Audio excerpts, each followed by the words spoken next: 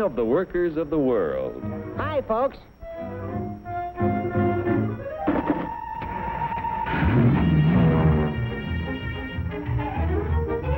Joe's the king because he can buy more with his wages than any other worker on the globe.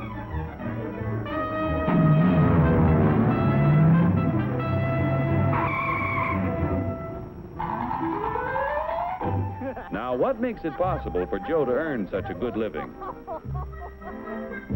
He's no smarter than workers in other countries. Are you kidding? He's no stronger than workers in other lands. Oh, yeah? Well, just watch me.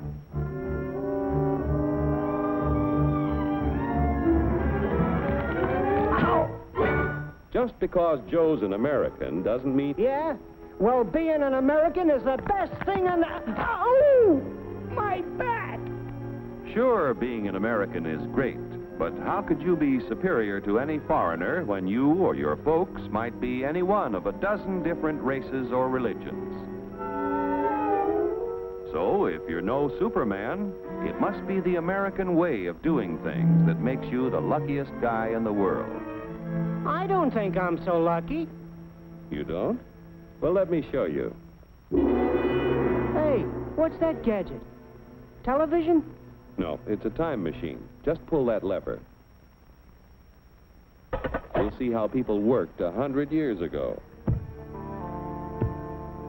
Hey, this I like. Oh, that's too far back. Try again. We want to stop at 1850. Who's the character? That's your grandfather, Joe. Oh, He had to work 69 hours a week to earn a living because he had only inexpensive hand tools and his own strength to help him make things. Your grandfather was a powerful man, yet his strength equaled only one tenth of a horsepower. You have hundreds of horsepower in this costly giant of a machine to multiply your strength and efficiency a thousand times. This makes it possible for you to earn more than any worker in history.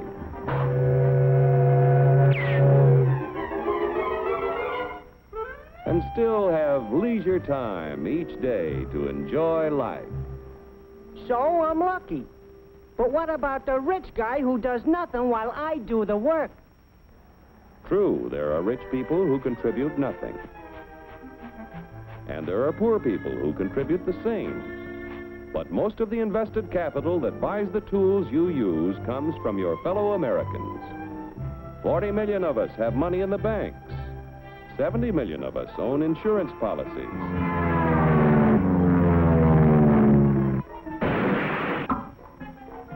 Over 15 million of us invest savings in corporation stocks and bonds, which help to finance industry.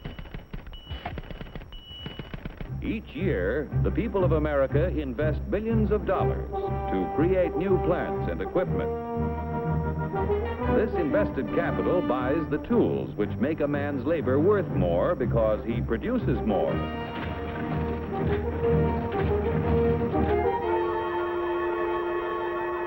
In China, for example, where there is practically no capital available for investment in plants or tools, a man's labor is not worth very much. A coolie takes 10 days to move 10 gallons of kerosene 100 miles at a freight cost of 10 cents a gallon. An American railroad worker takes only two hours to move 100,000 gallons of kerosene 100 miles at a freight cost of one cent a gallon. The coolie makes 10 cents a day. An average American railroad worker makes $10 a day, or 100 times more than the coolie. The average railroad worker has the benefit of a $20,000 investment in equipment. The Chinese coolie's equipment is worth only 10 cents. With constant improvement in expensive tools and the skill to use them, the value of any man's labor can be multiplied many times. Naturally, the people in this country who invest their savings with industry expect dividends. No dividends, no investments.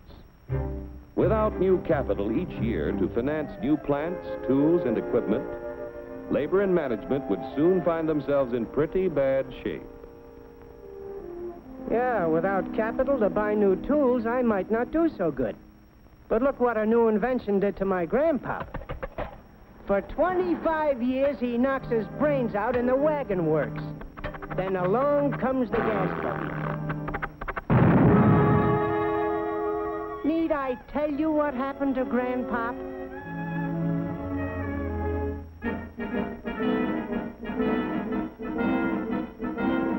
The history of our country proves that new inventions create thousands of jobs for everyone they displace.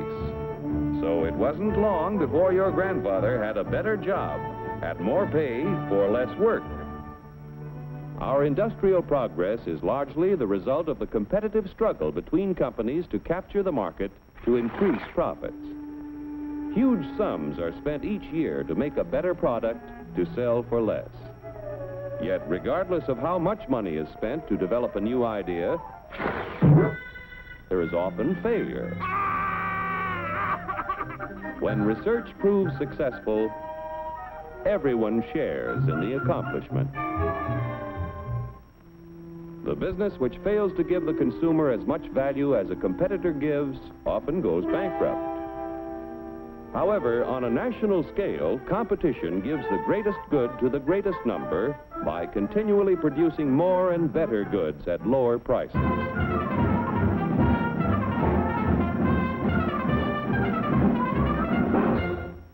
The American way of doing things makes it possible for more people to own their own homes.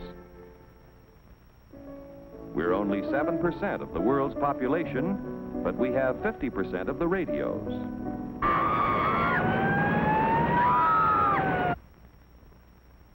We have 54% of the world's telephones.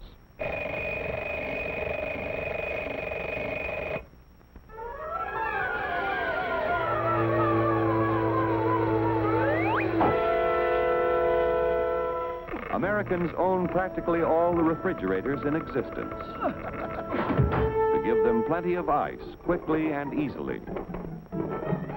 Bathtubs, we've got 92% of them. Most of us have the leisure time to enjoy the peace and quiet of the beautiful countryside. As we drive about in 72% of the world's automobiles. I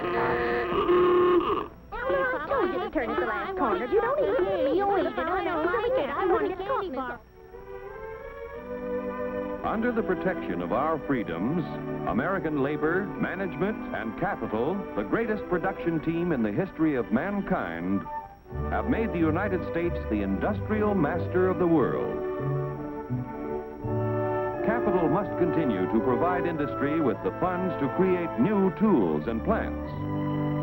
Labor and management must continue to increase the production of better goods at lower prices so that more people will be able to buy the things that make life easier and happier for all of us. Then Joe will continue to be the king of the workers of the world. You said it, brother.